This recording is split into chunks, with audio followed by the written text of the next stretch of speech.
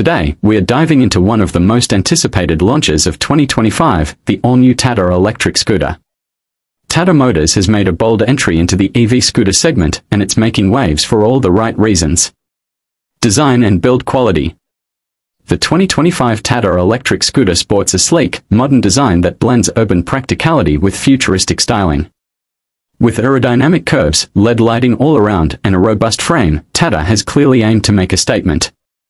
The scooter sits on alloy wheels and comes with a spacious footboard and underseat storage, making it ideal for daily commuting.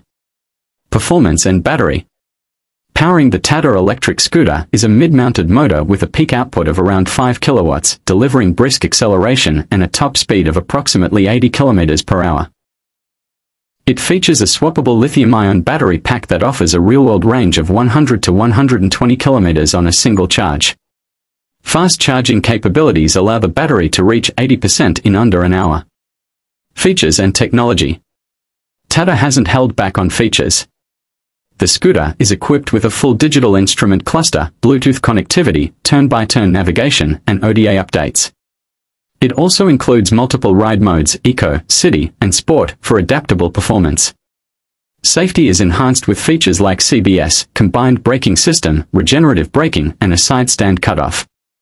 Pricing and launch details.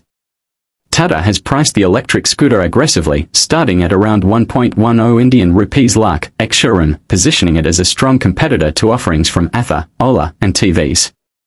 The scooter is expected to be available in multiple color variants and will hit showrooms across major cities by August 2025. Final thoughts.